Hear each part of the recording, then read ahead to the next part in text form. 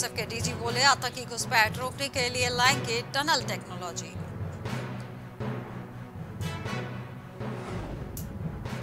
कंगना रनौत को जान से मारने की धमकी, फ़िल्म अभिनेत्री की शिकायत पर मनाली में केस दर्ज। प्रधानमंत्री मोदी ने मिजोरम के सीएम जोरम मंथागा से की मुलाकात।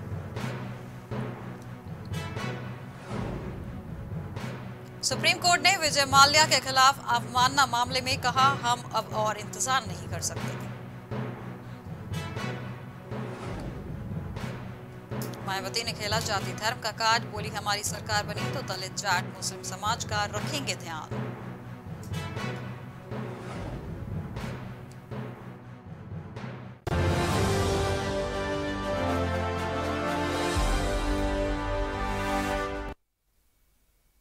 नमस्कार, मैं हूँ आपके साथ में श्वेता गर्ग और आप देख रहे हैं प्राइम टीवी। आई नज़र डालते हैं उत्तर प्रदेश की कुछ खास खबरों पर। उत्तर प्रदेश में अगले साल शुरुआत में होने वाले विधानसभा चुनाव को लेकर भारतीय जनता पार्टी ने अपनी तैयारियाँ तेज कर दी हैं। इसके मद्देनजर बीजेपी के पूरे प्रदेश में कई बड़ी यात्राएँ निकालेगी, जहाँ जानकारी के मुताबिक 7 दिसंबर से पार्टी की पहली यात्रा निकाली जाएगी। इन छह यात्राओं के ज़रिए पार्टी अवध, काशी, गोरखपुर ब्रिज और पश्चिम यूपी और बुंदेलखंड क्षेत्र को कवर करेगी। बीजेपी अपनी इस यात्रा के ज़रिए मौजूदा सरकार की ओर से चलाई गई योजनाओं के बारे में सबको जानकारी देने के साथ अपने कार्यकर्ताओं में जोश भरेगी। यूपी बीजेपी के अध्यक्ष स्वतंत्र देव सिंह ने मीडिया से बताया कि भारतीय जनता पार्टी 2022 के विधानसभा चुनाव के लिए प्रदेश स्तर पर छह यात्राएँ लेकर यूपी की जनता के बीच जाएगी और इसके साथ ही उन्हें, उन्होंने दावा किया कि कार्यकर्ताओं के दम पर और जनता के आशीर्वाद से भाजपा 300 से प्लस सीटों के साथ एक बार फिर से सरकार बनाने जा रही है।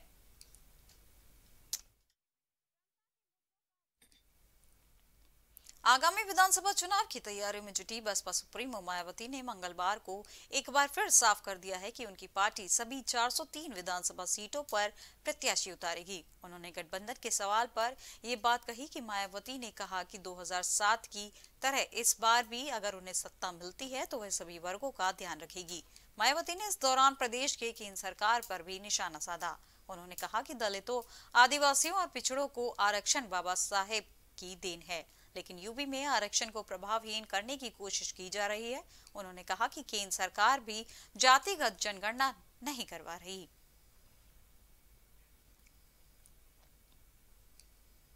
खेल स्पर्धा कार्यक्रम के समापन में शिरकत करने आज केंद्रीय मंत्री स्मृति ईरानी बुलंदशहर के अनूप शहर इलाके के खालौर गाँव में स्थित स्टेडियम पहुँची। इस दौरान स्मृति ने खेल में भाग ले रहे छात्र छात्राओं को संबोधित करते हुए कहा कि हम उभरती प्रतिभाओं को बढ़ावा देने की ज़रूरत है। उसके लिए ही सांसद खेल स्पर्धा का आयोजन किया गया है।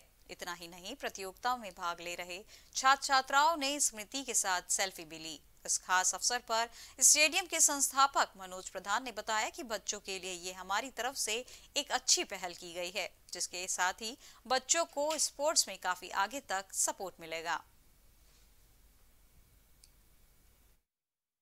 मेरा गाँव तो यहाँ से चार किलोमीटर दूर है, क्योंकि मेरे खेल में मेरे हृदय में खेल के प्रति पहले से ही बहुत ज़्यादा खेल के प्रति रुचि रही है। और मैंने ज़मीन तलाश की तो मुझे यहाँ हाईवे पे अपने जो अनूपसर बुलंदशहर का हमारा हाईवे है, इस पर मैंने पचपन बीघे ज़मीन अपने निजी पैसे से अपने सौ परसेंट ईमानदारी से कमाई हुई राशि से मैंने खरीदी है और ये इकतालीस लोगों से मैंने ज़मीन खरीदी है। मेरे हृदय में एक सपना था कि मेरे क्षेत्र के, मेरे ज़िले के बच्चे हमारे भारत में ही नहीं, बल्कि अंतर्राष्ट्रीय स्तर पर कांग्रेस के प्रदेश अध्यक्ष अजय कुमार लल्लू बिजनौर पहुँचे। यहाँ पहुंचकर अजय कुमार लल्लू ने एक प्रेस कॉन्फ्रेंस की और प्रेस कॉन्फ्रेंस के ज़रिए बीजेपी सरकार पर जमकर निशाना साधा। उन्होंने कहा कि सरकार ने आम जनता को काफ़ी ज़्यादा परेशान किया है और जब से ये सरकार आई है, तब से सिर्फ़ महँगाई बढ़ रही है। इस बढ़ती महँगाई ने लोगों का जीना मुश्किल कर दिया है। समीक्षा बैठक करने आया हूँ आने वाले दो तारीख को। मुरादाबाद में प्रतिज्ञा रैली का आयोजन होना सुनिश्चित है। महासचिव दीदी प्रियंका गांधी जी उस सभा को संबोधित करेंगी। और मैं समझता हूँ जिस तरह उत्तर प्रदेश में आज किसान परेशान है, नौजवान परेशान है, गरीब परेशान है, मध्यम वर्गीय वर्ग परेशान है।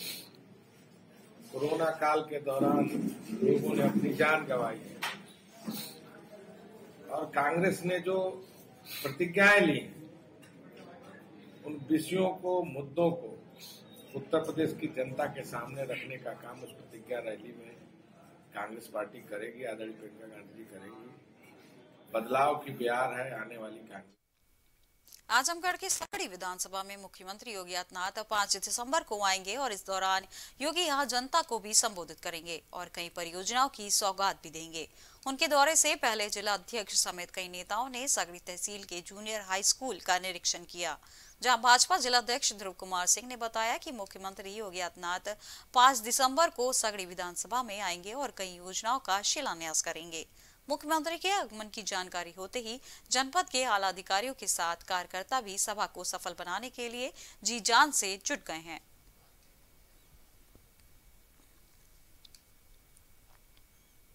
फरूखाबाद के मोहल्ला राजीव गांधी नगर में जिला कार्यालय पर प्रतापगढ़ कुंटा से लगातार छह बार विधायक रहे रघुराज प्रताप सिंह की तीन साल पहले बनाई गई पार्टी, जनसत्ता दल, लोकतांत्रिक का आज स्थापना दिवस मनाया गया। इस मौके पर पूरे जनपद में जन संकल्प सेवा दिवस के रूप में मनाया गया। इस दौरान पार्टी जिला प्रधान महासचिव मनोज सिंह ने कहा कि फरूखाबाद में पूरे दमखम के साथ पार्टी चुनाव लड़ेगी।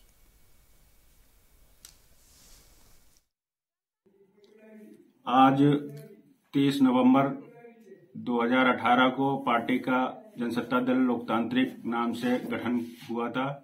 आज तीन वर्ष पूर्ण हो गए हैं, जिसके उपलक्ष्य में सेवा संकल्प दिवस के रूप में स्थापना दिवस को मनाते हैं, जिसमें आज प्रदेश नेतृत्व के दिशा निर्देश के क्रम में पार्टी का झंडारोहण और पार्टी की गोष्ठी और शोषित वंचित समाज के लोगों की मदद करना हम लोगों का प्राथमिकता में है।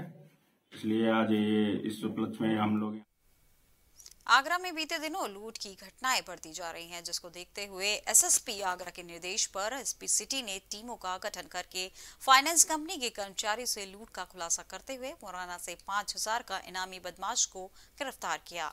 वह अपराधी के पास से लूटा हुआ मोबाइल डिवाइस और दस हज़ार रूपए भी बरामद किए हैं। अपराधी पर पहले ही तेरह मुकदमे अन्य राज्यों से भी दर्ज हैं। वहीं एसपी सिटी ने इससे पहले भरे बाज़ार में चांदी की लूट का खुलासा करके कब्जे से सैतीस किलो चांदी बरामद की है और दो लोगों को गिरफ़्तार करके जेल भेज दिया है। वादी अंशुल वर्मा, पुत्र श्री अनिल वर्मा के तहरीर पर कोतवाली पुलिस ने मुकदमा पंजीकृत किया जिसमें उन्होंने बताया था कि उनकी सैंतीस किलो की चांदी चोरी हो गई है। और उन्होंने ये भी ज़ाहिर किया था कि बाहर स्कूटी पर बैठा एक व्यक्ति दो घंटे से इंतज़ार कर रहा था। हो सकता है ये घटना उसी ने की हो। उसके बाद पुलिस हरकत में आई, पूरे सीसीटीवी कैमरे खंगाले गए। इससे हमें इनके फुटेज मिले और फुटेज के आधार पे कोतवाली, सीओ कोतवाली के नेतृत्व में, एसएचओ कोतवाली और उनके टीम, उनकी टीम बनाई गई और टीम ने अच्छा कार्य करते हुए कल रात्रि में दोनों चोर को साथ में पूरे माल को बरामद किया है।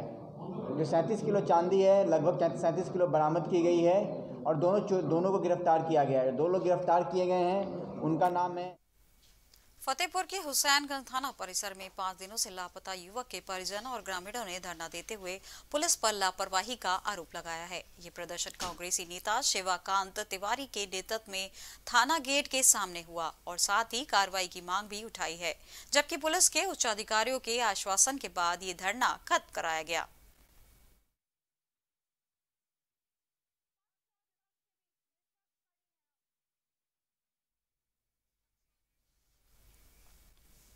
सहारनपुर जिला अस्पताल में राष्ट्रीय स्वास्थ्य मिशन के तहत संविदा कर्मचारियों ने मुख्य चिकित्सा अधिकारी के ऑफ़िस का घेराव करके सामान का काम करने, समान वेतन की मुख्य मांगे को लेकर अनिश्चित काल तक हड़ताल करने के लिए कमर कस ली है। इन सभी संविदा कर्मियों का कहना है कि हम लोग तकरीबन आठ साल से विभाग की लगातार सेवा करते आ रहे हैं। ऐसे में हम भी परमानेंट स्टाफ के सामने ही विभाग के अंदर काम करते हैं। फिर हमको समान वेतन क्यों नहीं दिया जाता? ये हमारी जायज़ मांग है जिसको हमारे प्रदेश के मुख्यमंत्री को मान लेना चाहिए।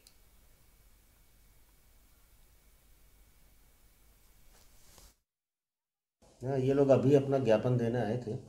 तो ये हमारे यहाँ सब कॉन्टेक्चुअल स्टाफ है एनएचएम के अंतर्गत या रूरल एरिया के अंदर और अर्बन एरिया में भी है।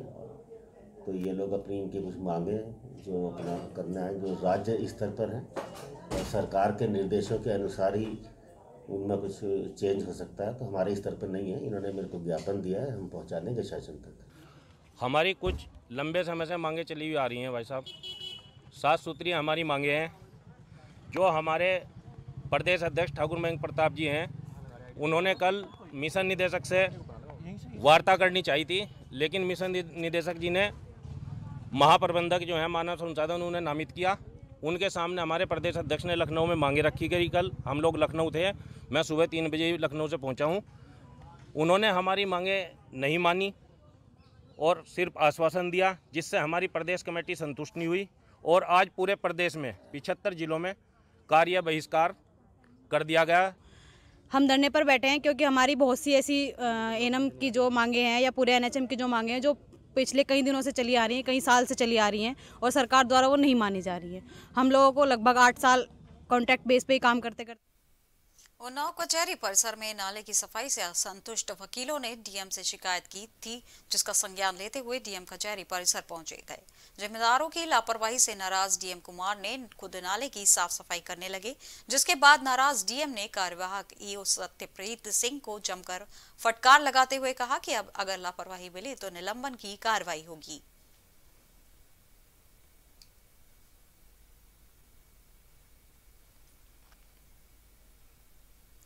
सुल्तानपुर में जिला गन्ना अधिकारी कार्यालय के सामने लगातार आठवें दिन भी किसानों का प्रदर्शन चलता रहा, जिसके बाद आज किसानों ने अपना गन्ना फूक कर नाराज़गी जताते हुए आरोप लगाया कि ज़िले के इकलौती चीनी मिल के बजाय जिन्ना गल अधिकारी सांठगांठ के चलते बाराबंकी के हैदरगढ़ की प्राइवेट चीनी मिल में गन्ना भेजने का दबाव बना रहे हैं। गन्ना किसान इसके लिए पिछले आठ दिनों से प्रदर्शन कर रहे हैं, लेकिन प्रशासन हाथ पर हाथ धरा बैठा है, जिसके बाद अब किसानों ने 7 दिसंबर को बड़े आंदोलन की भी चेतावनी दी है। धरने पर बैठे गन्ना कार्यालय के सामने सुल्तानपुर में जो है हमारा मांग है कि हमारे सात गाँव का गन्ना जो है हैदरगढ़ मिल भेजा जा रहा है। हम किसान हैदरगढ़ मिल अपना गन्ना नहीं देना चाहते हैं। हम अपना गन्ना जला देंगे, लेकिन हम हैदरगढ़ मिल पे गन्ना नहीं देंगे। लेकिन जिला गन्ना अधिकारी, भ्रष्ट अधिकारी है, एक गन्ना हैदर मिल, प्राइवेट मिल को देना चाहता है। सरकारी चीनी मिल सुल्तानपुर को बंद करने की इसकी नेत है। लेकिन हम किसान संकल्प लिए हैं कि अपना गन्ना हैदरगढ़ मिल पे नहीं देंगे, अपना गन्ना फूकने का काम करेंगे और आए दिन आंदोलन चलता रहा, गन्ना जलता रहेगा और हम गन्ना अपना सुल्तानपुर चीनी मिल को ही देंगे, हैदरगढ़ को नहीं देंगे। चंदौली जनपद के मुख्याल बटवाली गली में स्कूली बच्चों ने हज़ारों की संख्या में नारे निकाल कर इस रैली में अलग अलग स्कूलों के बच्चे शामिल रहे। रैली का शुभारंभ भारत माता के चित्र पर माल्यार्पण कर और आरती करने के साथ हुई। इस दौरान स्कूली बच्चों ने मठवाली गली से तिरंगा यात्रा लेकर देशभक्ति का नारा लगाते हुए चंदौली नगर का भ्रमण किया। ये जन जागरण यात्रा है जो 19 नवंबर से 16 दिसंबर तक चलेगी। अभी ये तिरंगा यात्रा का आखिरी दिन था। ये नगर मुख्यालय जिला मुख्यालय पर भारी संख्या में छात्र छात्रा और नगरवासी इसमें शामिल होकर तिरंगा यात्रा बिजनौर के थाना बड़ापुर के धर्मुवाला गाँव में 26 नवंबर को बुज़ुर्ग की हत्या कर दी गई थी, जिसके बाद मृतक बेटे ने थाना बड़ापुर में अपनी सौतेली माँ के खिलाफ हत्या का आरोप लगाते हुए तहरीर दी थी। हत्यारे बेटे ने पूछताछ के बताया कि उसकी माँ की तीन साल पहले मौत हो गई थी। और आठ महीने पहले उसके पिता ने दूसरी शादी कर ली थी, जिसके कारण कुछ दिनों से उसका पिता उससे झगड़ा करता था और ज़मीन जायदाद को बेदखल कर घर से निकालने की धमकी देता था। इस कारण आरोपी बेटे ने अपने साले और दोस्त के साथ मिलकर अपने ही पिता की हत्या कर दी थी। 26 नवंबर को बढ़ापुर थाने में प्रीतम नाम के 27 वर्षीय व्यक्ति की ब्लंट ऑब्जेक्ट से हत्या की गई थी। उसके बेटे कैलाश ने अपनी सौतेली माँ बचली के खिलाफ बाईसवा मुकदमा कायम कराया था। घटना का अनावरण S P R A C O थाना प्रभारी ने खूबसूरती के साथ किया। जो वादी है, उसी ने अपने साले एवं दोस्त से मिल करके सिर में ब्लंट ऑब्जेक्ट से चोट पहुँचा करके हत्या किया। हत्या का कारण, मृतक की पत्नी का मृत्यु हो जाना एवं दूसरी पत्नी से शादी करना और इसको शक था कि कहीं पूरी संपत्ति उसके पिता बछली के नाम न कर दें, संपत्ति बचाने के उद्देश्य से या आपसी कला मैनपुरी में आज यातायात महीना खत्म होने के अवसर पर ईशान नदी पुल पर लोगों को यातायात के प्रति जागरूक किया गया। साथ ही मोटरसाइकिल रैली निकालकर शहर में लोगों को यातायात के प्रति जागरूक किया गया। इस मौके पर क्षेत्र अधिकारी नगर अमर बहादुर, निरीक्षक यातायात अनिल कुमार सिंह और ट्रैफ़िक पुलिस कर्मी भी मौजूद रहे।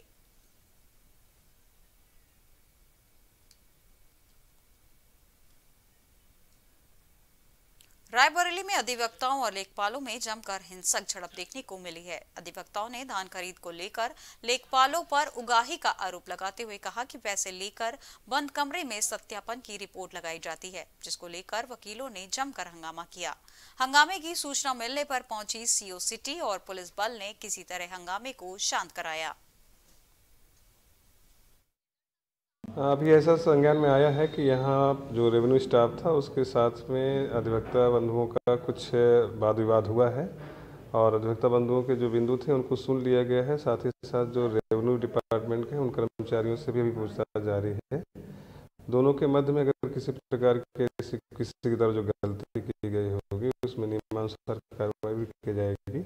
साथ ही साथ इस चीज़ का ध्यान रखा जाएगा कि आगे से इस तरह की कोई जो है गलतियाँ ना हो, चाहे वो अधिवक्ता पक्ष हो, चाहे हमारा रेवेन्यू पक्ष हो।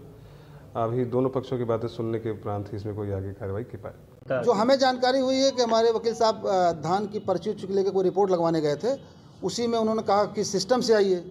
तो उन्होंने पूछा, सिस्टम क्या होता है? तो कोई वहाँ पर उनका दलाल टाइप आदमी था, कहीं उससे मिलिए, तब फिर हमारे पास आइए। उसी बात को लेकर तो तुम्हें में हुई। और झगड़ा हुआ। जो हमें जानकारी हुई है कि हमारे वकील साहब सहारनपुर के देववन भारतीय किसान मंच के राष्ट्रीय अध्यक्ष देवेंद्र तिवारी को लखनऊ में एक धमकी भरा पत्र मिला है जिसमें उन्होंने जान से मारने की धमकी दी गई है। धमकी भरा ये पत्र देववन डाक से भेजा गया है और इस मामले में सहारनपुर के एसएसपी आकाश तोमर ने बताया कि सोशल मीडिया के माध्यम से ये खबर सामने आई है जिसकी जाँच में लखनऊ कमिश्नरेट जुट गई है।